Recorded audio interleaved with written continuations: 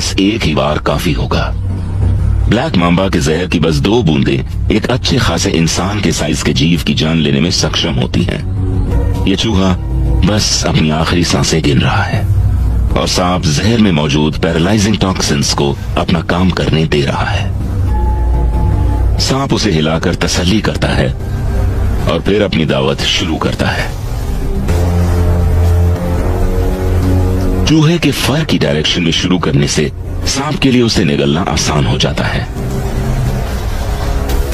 उसे निगलने से भी पहले से पाचन शुरू हो चुका है।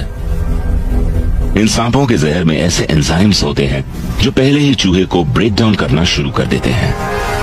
और अब एक बढ़िया लंच के बाद ब्लैक मैम्बा धूप सेकने के मूड में है।